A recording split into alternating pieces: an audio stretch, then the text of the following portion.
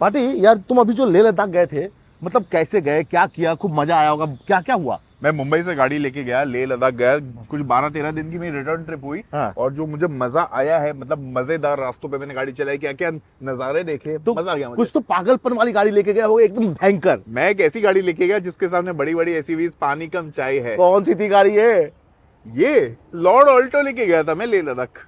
मज़ाक कर रहे हो यार।